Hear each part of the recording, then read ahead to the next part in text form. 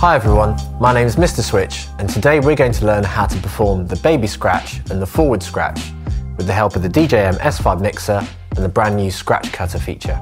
The baby and the forward are two of the most fundamental scratch moves. They're a great way to experience scratching and turntablism. Let's start with the baby scratch.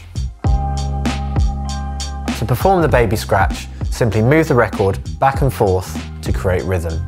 The mixer and the crossfader aren't involved. Place your hand on the control vinyl with your fingers resting on the surface somewhere around the 9 o'clock position. You should have a nice firm grip on the vinyl, but your hand can be fairly relaxed. Moving the record should feel comfortable for you. So let's move forward from the 9 o'clock to the 11 o'clock position. And then we move back to 9 o'clock.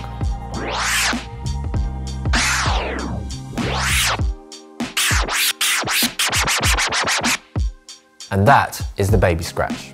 You can move the vinyl faster or slower, vary the distance and timing to create different rhythms and combinations.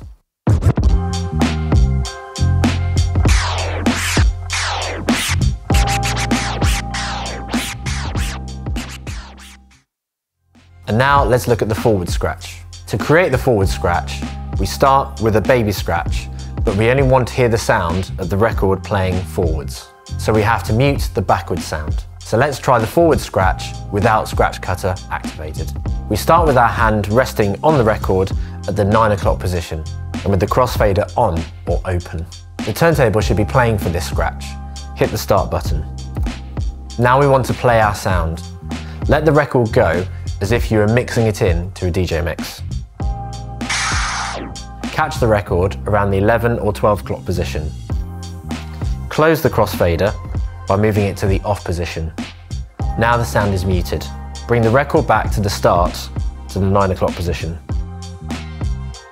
And finally, open the crossfader and turn the sound on. And now this time with the beat.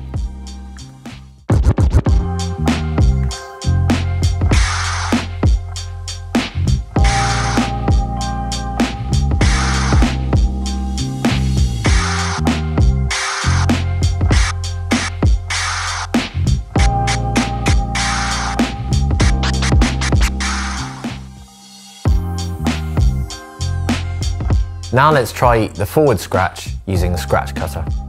Access the forward pattern in Scratch Cutter by pressing and holding FX cut button 1. Lock the effects lever on for the deck you're using to scratch. Now move the control vinyl forwards and backwards. The mixer mutes the backwards sound so only the forwards is heard.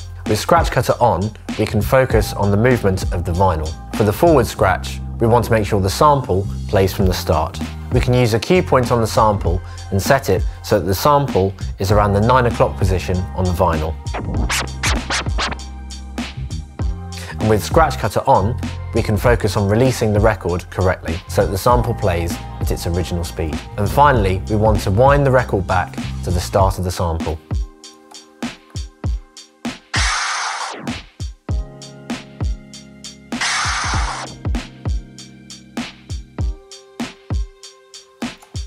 Now let's try that with a beat.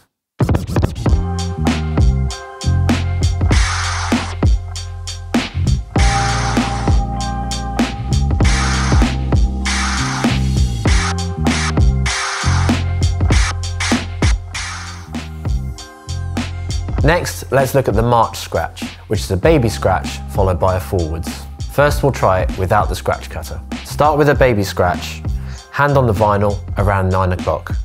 Keep hold of the record with your hand, push forwards and pull back. And now a forward scratch. Let go of the record and play the sound. Catch the vinyl and close the crossfader to mute the sound. Pull the vinyl back and open the crossfader. From here, you can repeat the march scratch.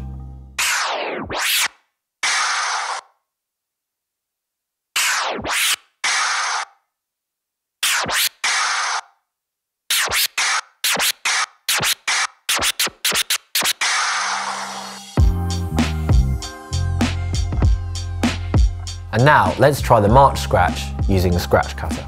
In Scratch Cutter mode, select FX Cut button 2, which is the March Scratch, and lock the effects lever on. Now move the control vinyl forwards and backwards twice. We hear the baby scratch, then we hear the forward scratch. Scratch Cutter will let us focus on getting the movement of the vinyl correct. Let's use the cue point to put the start of the sample around the 9 o'clock position again. For the baby scratch, we want to focus on keeping hold of the vinyl, bringing it back to the correct starting point. And for the forwards, we want to let the vinyl go so the sample plays at its original speed. Catch the sound and bring it back accurately to the start.